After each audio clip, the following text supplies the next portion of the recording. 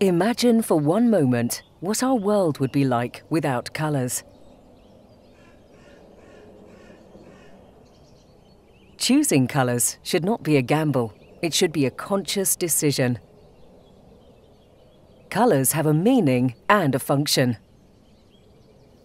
So I have this brown on my couch back home, or like. How can we make conscious and successful colour decisions when there are millions of colours to choose between? Maybe if we start with this one. Your customer would like a kind of sky blue that matches a fabric they've already got. But what colour is sky blue? And what kind of blue would work really well with the colour of the fabric? Uh, How do we uh, choose and communicate colour? It's um, a mix between. Is there a shortcut to creating a colour scheme for an excellent design? So. These are some of the reasons that we need a colour language that everyone understands. This is why NCS, Natural Colour System, was researched and developed. It describes every colour we can perceive. Let's take a closer look at how it works. Really. Yeah. Like it.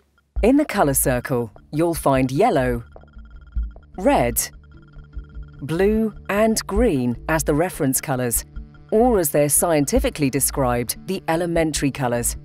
Let's take our sky blue colour and define what we see.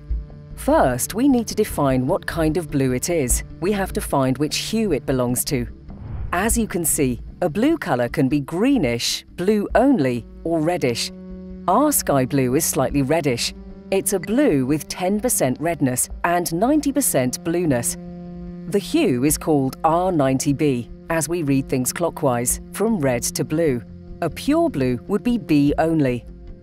Now that we know the hue of our colour, we need to describe its nuance.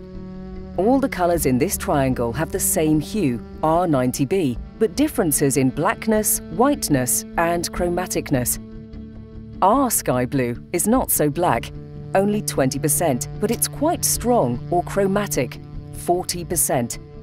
This means that we have a colour that has 20% of blackness and 40% of chromaticness. It's a red colour with 90% blue, 2040 R90B.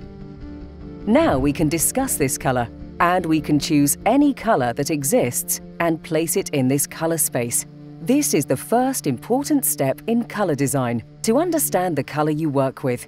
From here, our intuitive colour inspiration is becoming rational. Let's put theory into practice. We've probably all faced the challenge of finding colours that match.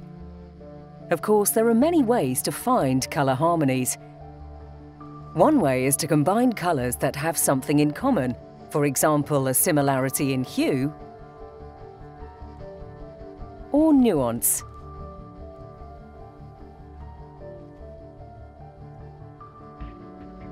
You can also match other factors, such as chromaticness, whiteness, and blackness.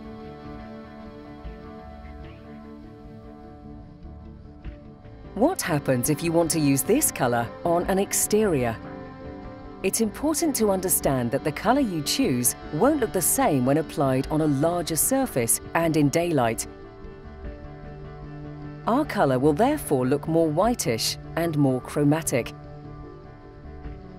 This means that when choosing an exterior colour, we need to pick a darker and less chromatic colour.